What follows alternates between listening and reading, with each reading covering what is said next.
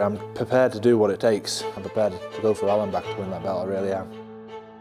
He's the toughest test of my career so far, definitely. But to me, that doesn't make a difference. Test, big or small, I'm coming through on top. I'm just a better fighter than him. I think I'm a better boxer. When that bell rings, I don't care who you are. You could be my mum. I'm gonna slump you in. Like, I'm just, I'm gonna lay into you. I respect him, but also when I box him, I'm going to try and smash his face in. I hope he does. Nathan, I'm coming for your face. When I beat him, I don't want no excuses. I'm the British champion then. And the new.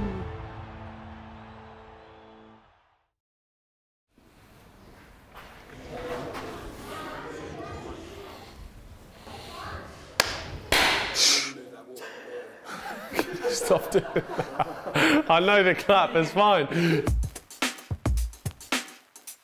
Fabio Wardley, current English heavyweight champion, 14 0, stepping up to fight Nathan Gorman in the British heavyweight title. Big one coming up next. Home sweet home is, is big old Ipswich, big old Ipswich town. Um, it's where, I've, where I grew up, it's where I was raised as a kid. The majority of my training is done here, it's where my gym is based, so everything's here. All my family and friends, for the most part, are here as well. So we just keep it all kind of homegrown. So the plan for today is uh, a massage and a cryo just to get my weekly MOT. Through camp, obviously, especially like with heavyweights, especially with sparring and stuff, you get little niggles, pains, injuries. So to kind of keep regularly on top of those. Look at tan. Why is everyone saying this? I don't get it. Nah, I haven't at all. I'm still holding on to this hand from Barbados. I put myself through every test, every bit of punishment, every little bit of focus that I could have for this camp. I've put everything in place. So since Lee's been here, we've been using the cryo, and don't get me wrong, I hate it. Fabio, it's pretty much about again just trying to keep him top peak. So it's more about recovery, uh, inflammation, pain management. Uh, it helps a lot more conditions, but like I say, Fabio is sport specific. What's the what's the headband? Right, it is. I've got little ears. I've got to protect them. Your extremities, mate. What we're looking for is a 10 to 15 degree drop. Um, when you get that, what happens is serotonin, dopamine, and your adrenaline gets flushed out. With that, you feel good, you're ready to train, obviously recover quicker. Cold. On that night, it will be the best Fabio Wardley that's ever walked in that ring. I used to spar my sister, believe it or not, growing up. I'm not ashamed to say this. I was only about eight, so there's a bit of a age advantage. But she used to literally kill me. She used to destroy me. yeah. yeah. People look at me and think, big, mean, scary man, but under it all, I'm just a normal person who likes switching off, you know, going around and feeding me animals and things. You know, I love doing stuff like that. Where I grew up was a place called Nantwich. I've lived here all my life. I'm a country lad, just peaceful and quiet. I've always preferred it like that. My love for animals has always been ever since a young boy. I've got 10 horses, I've got about 30 or 40 chickens, I've got goats, turtle, um, fish, dogs, cats, you name it, I've got, I've got everything. If you're working really hard in the gym, you need that switch off. That's my switch off, you know. Boxing has been a massive part of my life. It's all I've known since seven years of age when I first stepped in the gym, going back near 20 years ago. I can remember my granddad for my birthday, for me sixth, seventh birthday, sorry, bought me a, remember them punch bags where you stood on, you punch them and they come back at you? Like little ones from Argos. And I fell in love with boxing. So my cousin Michael took me to the gym and instantly, you know, when I walked into the gym, the, the smell of sweat, the chains rattling, I was a kid, seven year old. I thought, I knew from that instant, I know it's an odd thing to say from that instant, I knew this is what I was going to do. Every day, since I can remember, you know, it's been nothing but boxing. My second name in my community is a massive thing. There's two, three hundred years of bare knuckle boxing, and I do believe it's passed on to me, and I'm going to take off where they left off. no respect to Fabio, but I think he's only just found boxing like a couple of years ago or something. I'm not too sure on his story or anything. This is me fight number 21 for me. It's a lot of experience. So I think that will be the main key for this fight. Experience is a big factor, but it's not the only factor. I've been on big shows, I've been in big situations before. I've had good competitive fights. I don't think he's ever fought anyone like me. My desire to win. I've had world title challenges, I've had a couple of them. Real season hard men I've had. I've gone through those trials and tribulations. Maybe not with someone as fresh or in this kind of more prime section of their career, fair point. As a fighter, I think he's a good fighter. He's obviously got a lot of power, very elusive. He's got a lot of skills. He does a lot of good things, but he also does some bad things as well, and hopefully I can capitalise on either one or two. He's well experienced, well drilled, he comes from a fighting background, so he knows how to handle himself in situations. Do I think he's faced someone like me? No. Someone that punches the way I punch, that's as fast as I am, has reactions that I have. You may have experience with other things, but you haven't had any experience with me.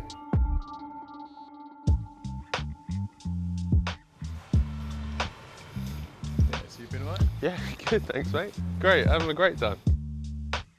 Remembering where I came from, a place that we didn't really have a, a massive boxing heritage, that charity that I came out of as a kind of unruly youth, and I can then come out of that situation and do something with myself.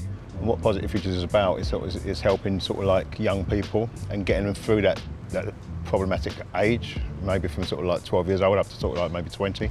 Terry can tell you when I was a kid, I wasn't, I wasn't ever a particularly nasty or rough kid. I just wasn't bothered about so many things. I couldn't find my direction. I was just unruly. I didn't like being told what to do, which is weird because I'm in a sport that is so, you have to be so disciplined in it. But there's also some young people there that was going off, off on the wrong route. You know, and it would have been very easy for you to have gone that way. Mm, yeah, definitely. Those kids from them situations could look at me and go, well, if Fab's done that, then what can I do? My coach, Rob Hodgins, he was on the Positive Futures and he was one of the coaches, mentors of the program. So again, that's where I initially met with him. But obviously him and Terry have, have worked together for years, so they know each other really well and he can probably attest to how wild and crazy Rob is, but how well he, how good he deals with those kind of situations and those kids. Don't please, don't do Just uh, No, show the people.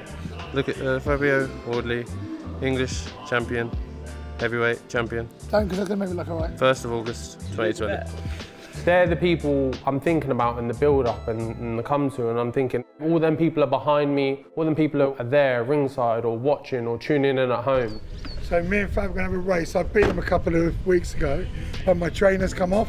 Yeah, but he gives me just a one second head start. I'm going to smash him this time. Ready? We're going all the way down there to the gate. Winner's the winner, I guess. Make make sure they're done up.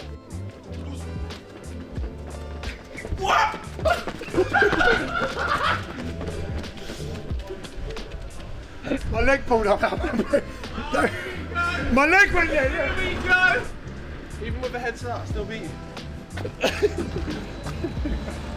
Yeah, okay, it's just me in the ring on my own on that night, but it's not. It's not just me. I've, I've, I'm carrying a lot of those people with me, and their their confidence goes into the ring with me on the night. The night against Daniel, when I lost to Daniel, I learned a lot of things. My dad wanted to pull me out on the Friday, you know, after the weigh-in. He said, you're not right, son, you're not boxing. If I had no arms or no legs, I'm getting in that ring. That's just the way I am. I got cut, I got stopped, I got dropped. I had all the, you know, the media attention around me. I had about four or five months off. And um, obviously, at my first loss, I was like, you know, took it to heart personally, obviously. I haven't watched back the Dubois fight because it's not something I put too much credence in. I don't look for people where they made their mistakes. Everyone in boxing can make a mistake. I don't, I don't look for mistakes. If I'm going to look for anything, if me and my team are going to research anything, we're going to research habits, things you do consistently. And in that fight, I think he would admit himself he made a few mistakes and he went into it wrong.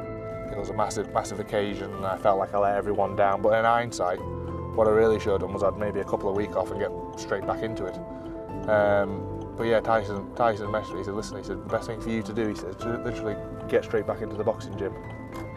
So, that's what I've done. Literally every time before I fight, he always messages me, you know, good luck, he like gives me tac tactical advice. Um, he was obviously at my last fight when I won the IBF international title.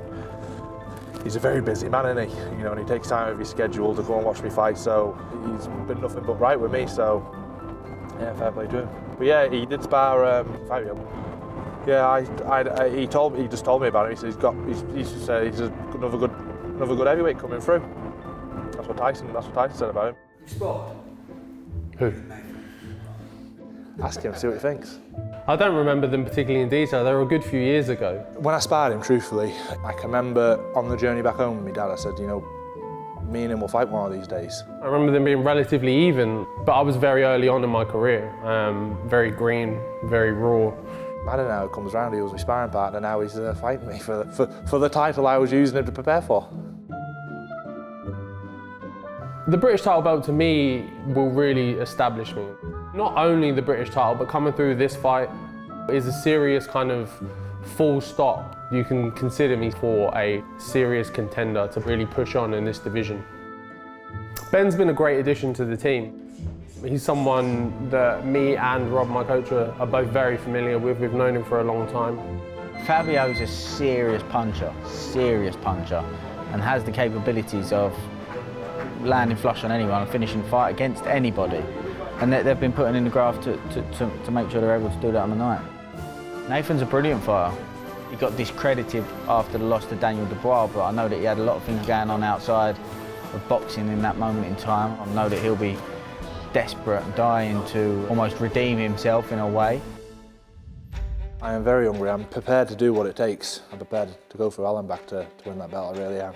On that night, I'll be the best Fabio Wardley that's ever walked in the ring that night. I'll have the most experience I've ever had. I'll have the most training, the most time I've ever had to get ready for a fight. 12 rounds, done, ticked off, ready to go.